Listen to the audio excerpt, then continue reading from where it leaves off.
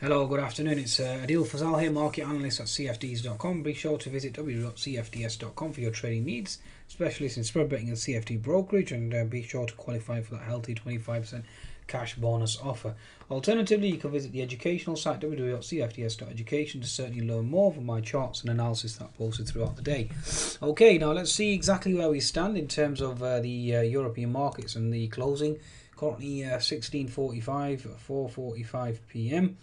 Okay, so the uh, FTSE itself, or the FTSE 100, certainly closed positive, uh, led by wage growth, stronger wage growth, and uh, the uh, unemployment benefit uh, claims certainly dropping to uh, as low as 19 since well lowest since 1975. The budget itself certainly um, was was really the only obstacle, and the uncertainty. As soon as the budget results came out, a report came out, the market, the FTSE 100 certainly rallied quite substantially. So it's interesting how the market reacted there on the FTSE itself, or the FTSE was also led higher by oil as well. So whether or not it was an oil rally or whether or not it was a, a budget-led rally is yet still uh, needs to be um, understood. From my perspective, it was more of an oil-led rally as opposed to a budget-led rally, because the budget in and of itself was actually uh, uh, was, was, from my perspective, given especially given the fact that uh, inflation and growth forecasts were downgraded, there was nothing positive uh, in terms of uh, growth there at all. Uh, so uh, really, it was the fact that uh, you had stronger wage growth throughout the day, during the day.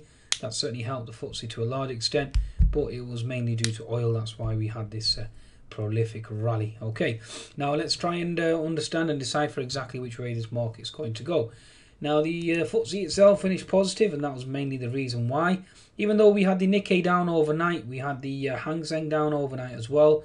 The Shanghai just about finished positive along with the uh, S Australian index as well. Okay, so main catalyst here with oil going up to uh, $38, although it's pulling back below 38 now. Right, uh, that was the situation with regards to the FTSE, the German DAX, then the CAC. The DAX finished positive, even though we had the uh, lawsuit versus Volkswagen. Uh, we also had Hikma profits down. Uh, Volkswagen concerns still lingering uh, to a large extent. Deutsche Bank tumbling as well as it states that the, uh, the, the, it will not be profitable this year. Uh, UK GDP forecast dropped. Osborne, nothing really in terms of the uh, European markets, other than the fact that we had uh, European construction data certainly come out better than expected. That was really the only positive out of Europe today. So that certainly helped the uh, European indices to a large extent. But other than that, there was nothing really positive. Yes, you can state that the Euro USD certainly has fallen, and that's uh, helped or stimulated the the European markets, I mean, you can see the Euro USD hit a pivot low of uh, 1.1060 here, and you could certainly argue, yes, that certainly stimulated the markets to a large extent. So, again, arguments can be made on, on either side. Uh, okay, Euro USD certainly is collapsing at the moment, and again, that should uh, act as a stimulatory measure for the uh, the European indices. So, certainly an argument there. Okay. Now, I did say that if the Euro USD were to break, I mean, if I just bring up a chart, the Euro USD, you can see that we're touching that 100 MA now, previous support equals resistance, we bounced off there. If we break below that, then your next level is going to be previous support equals, or previous resistance equals support, or 1.103, so all eyes on that 1.103 level, and we'll see whether or not the market can break through that. So, should be interesting going forward nevertheless. Okay, so that's basically where we stand on the Euro USD, and that in of itself, given the fact that we broke that uh, long-standing 1.1080 zone, that certainly did help the uh, indices to a large extent. Now, having said helping indices, the Euro stock certainly hasn't been very positive, and nor has the French CAC. It was just the German DAX that was certainly stellar of uh, all the uh, indices. So, interesting insight. Interesting insight there. Okay, now. Let's bring up the actual uh, technical perspective and let's see exactly where we stand. Now, we have a HNS formation on the uh, Euro Stoxx. We did actually break below the neckline, but we, we've managed to recapture it now. And the Euro Stoxx has been very weak, and that's not exactly a good sign, folks, okay, going forward. Especially given the fact that the Euro Stoxx in the daily chart has held that good topping till previous support equals resistance, as you can clearly see here. And you are looking for a potential pullback on the Euro Stoxx. So that's generally signaling or to explain to you that the uh, FOMC, the outcome uh, post FOMC will be bearish, okay? That's how I'm reading things at this current juncture, okay? Uh, the 60 minute chart on the Euro Stoxx again if you this is a key zone here at 5043 Uh, 50, 3045, sorry, 3040 is a key zone. If you break through there, then obviously you have the unfilled gap that needs to close at 2980, and that will be the zone to watch. Okay. In terms of uh, Europe 350, you can clearly see that that resistance is certainly holding. Unless the dollar is exceptionally strong and sends the uh, the Euro USD down quite sharply, it's uh, going to be very hard for the um, uh, indices to rally from my perspective. Okay, let's go to the German DAX now. German DAX certainly in the, in the uh, daily chart perspective, you can see that we're still lingering on that gap level. Okay, 60 minute chart on German DAX. We've held double top. You have an unfilled gap below. So we certainly need to close that. So watch out for that potential gap below. Okay. Daily chart, you can clearly see that we uh, obviously are holding resistance. 10 minute chart, certainly exhausted.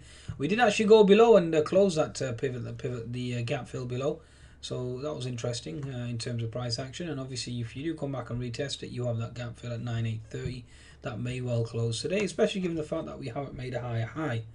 Okay, so certainly food for thought there in terms of uh, market uh, price action. Okay, that's basically where we stand with regards to that. Okay, now let's just cross-reference that with the MDAX. The MDAX is still into that 200 MA, still holding as resistance, so near no real uh, thrust higher. And the tech all shares certainly languishing at gap fill resistance. So again, no real uh, reason for, for it to propel higher. So the German DAX certainly is um, at uh, at a crossroads. Okay, that's probably the best way of explaining it. Now the French CAC. Let's move on to the French CAC daily chart. You can see that topping tail certainly has held.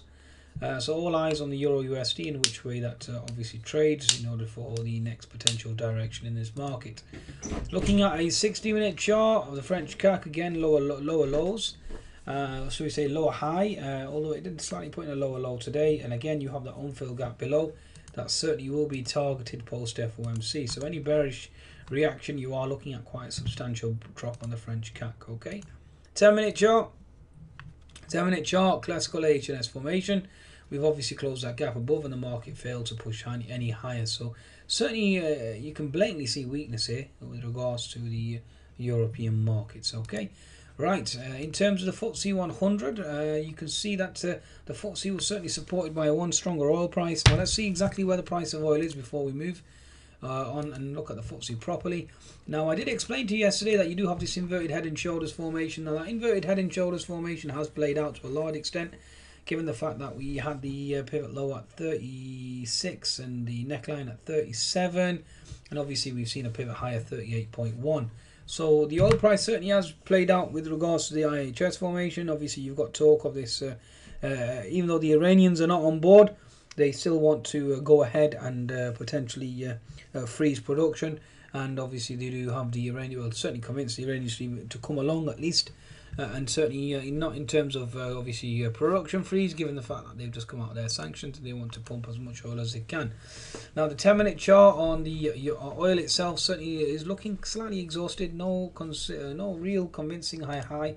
And given the fact that the IHS formation is complete as well, and given the fact that the dollar index is, is certainly looking very bullish, it's going to be very hard for the price of oil to certainly stage any real rebound. Okay. Uh, also, given the fact that uh, the economic data out of the US today, um, even though the uh, data out of the UK and EU was slightly stronger, the uh, economic data out of the US mixed to a large extent. Building permits actually down, weaker than expected. Housing stats actually uh, better than expected. Uh, consumer CPI, higher inflation data, certainly obviously that starts to raise concerns and fear with a potential rate um, rate rise. So again, that certainly is uh, a mixed bag. I mean, it, again, it it can be simulatory in the sense that USD JPY goes higher and the euro obviously moves lower. But you, as you can clearly see today, the the markets, so European equities have become immune to the euro because the euro has fallen, and yet European markets haven't, haven't rallied at all. So again, that certainly is something to consider. Industrial production actually came out weaker than expected. Capacity utilization weaker than expected. CB leading economic index out the UK came in weaker than expected. Uh, crude oil stocks or the actual uh, potential inventories came out weaker, and then obviously that supported the uh, the uh, in terms of supply side of the equation. That certainly sent the oil price higher. Uh, again, all eyes will be on the FOMC now. So again, it's going to be interesting uh, in terms of how the FOMC reacts. In terms of oil being held by fundamentals, yes, it was held by fundamentals from the EU and the UK to a large extent. But the US markets not as much. If you have stronger inflation and yet weaker economic data, that certainly isn't a good sign. So again, certainly take that into consideration as well. Okay, especially like I said, industrial production coming weaker than expected. Uh, Canada manufacturing actually came out better though. Uh, so that's certainly uh, certainly something to contemplate. So all eyes now on the uh, monetary um, FOMC projections. Okay, all eyes on the FOMC projections. Uh, interest rate decision. Everybody is expecting a hawkish uh, read, and therefore you are looking for a risk aversion trade. Okay, so that certainly is the uh, all eyes on that potential um, market itself. Okay, now let's just cross reference the uh, FTSE now that we looked at the price of uh, the euro. Let's just quickly look at the chart of the bund. Okay, again, that's going to be quite important in terms of uh, ascertaining as to which way we're going next in terms of this market. Bear with me. Here we go. So the bond certainly is coming into support.